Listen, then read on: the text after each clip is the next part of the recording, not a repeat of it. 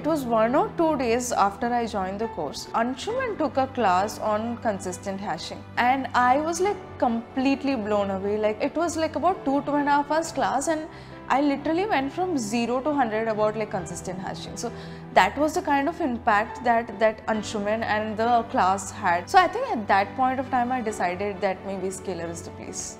I never had the confidence to even start. But then like Abhimanyu has always told me that you know the best way to learn coding or you know to develop something is to jump into it and get your hands dirty with code. That's the only way you will learn.